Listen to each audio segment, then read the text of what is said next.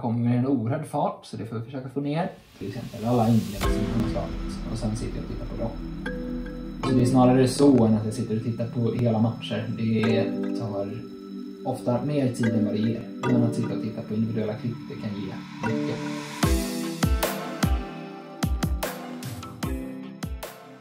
Berätta om analysen som ni gör inför matcherna.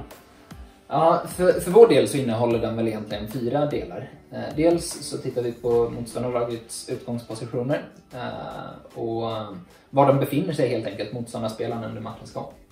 Eh, och utav det så kan vi få fram vilka ytor som dels blir farliga för oss, alltså vilka ytor som vi behöver försvara.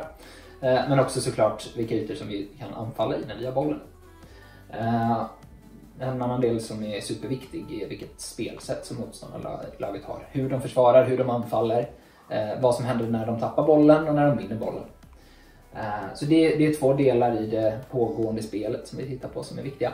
Eh, och eh, två andra delar som såklart också är viktiga är eh, fasta situationer eh, och motståndarlagets eh, spelare, alltså de individerna. Eh, och vad de gör och är duktiga på.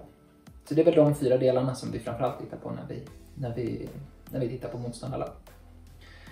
Uh, och min uppgift i det är att titta dels på fasta situationer uh, eh, och presentera det till Theodor.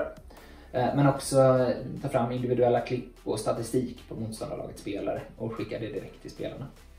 Så det är väl, det är väl så som vårt, vårt tillvägagångssätt är när vi tittar på motståndarlag. Yes. Eh, när vi tittar på fasta situationer så precis som spelet i övrigt så får man titta på vad motståndarna, motståndarlaget gör eh, offensivt och defensivt. Och här till exempel då så kan vi titta på motståndarlagets hörner. Um, och givetvis då vad vi ska göra när vi gör hörna. Uh, och dels så försöker vi illustrera med hjälp av uh, eh, spelplan och klubbar uh, eh, så att vi kan se var spelarna befinner sig. och sen kompletterar vi det med att se på se på klipp eh, och då kan det se ut så här.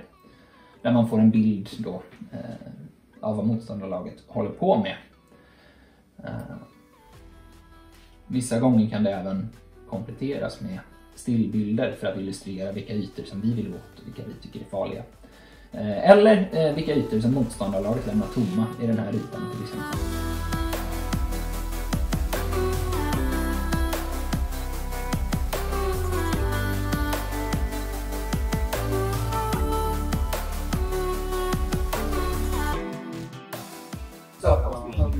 Ja, exakt. Kujovic, om han spelar.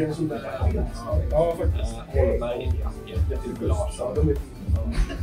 Men så... Det är bra.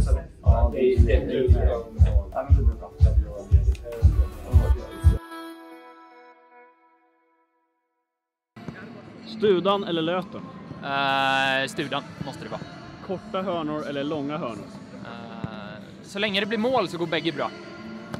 Långa bollar eller långa inkast? Uh, långa bollar då. 4-3 vinst eller 1-0 seger? Uh, 4-3.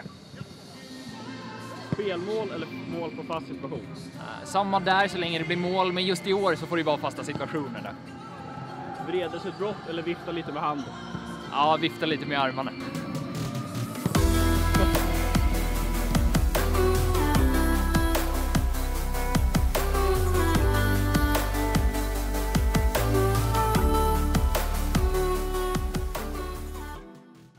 Som idag så kommer vi, kommer vi till studan vid, vid tio snåret, eh, avfärd eh, kvart över 12. Eh, så vi ledare har en stund tillsammans innan spelarna kommer. Eh, förbereder det sista. Eh, och väl här så, så fort som vi får laget så börjar arbetet igen. Eh, Theodor framförallt går igenom vad vi ska göra på våra fasta situationer och vad vi tror att de kommer göra och hur vi ska tackla det. Eh, väl när vi fått laget, gör klart det sista, eh, drar det med spelarna, nu uppvärmning och sen så har vi matchstart vid tre. Uh, under tiden så är det bara att vi hjälps åt, vi som är här, med att skapa förutsättningar för spelarna att prestera så bra som möjligt.